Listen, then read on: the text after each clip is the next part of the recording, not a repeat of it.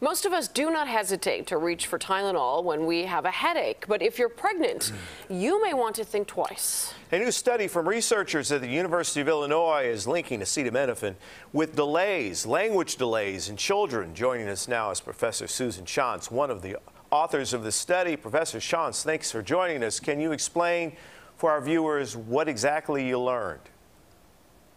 Oh, sure. Um, we were looking at uh, Tylenol or acetaminophen use during pregnancy and the relationship to um, language development in children. We looked at language development at age two and age three.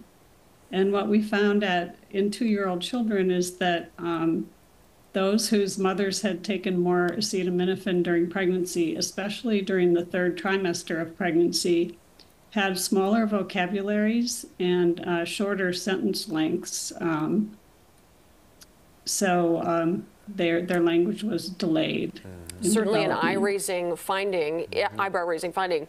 In your findings, did you see if there was a threshold for just how much acetaminophen use uh, can make an impact?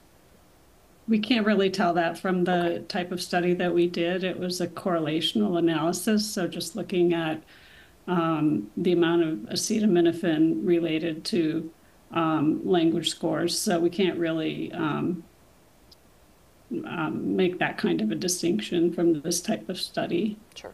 So what comes next for this research? What would you like to see happen?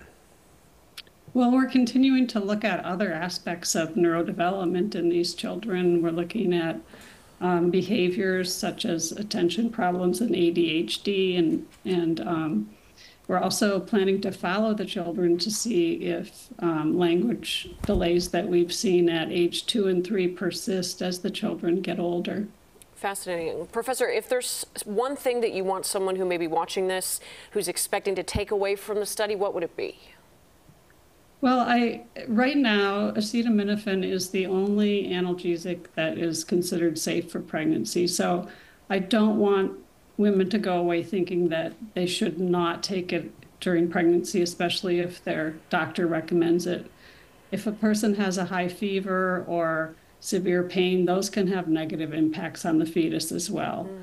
But I guess what I would say is that maybe to use more caution um, if there are minor aches and pains, do you really need to take acetaminophen? Because it is, you, I think it is overused. Susan Schantz, Professor Emeritus from the University of Illinois, thank you for joining us. Thank you for having me.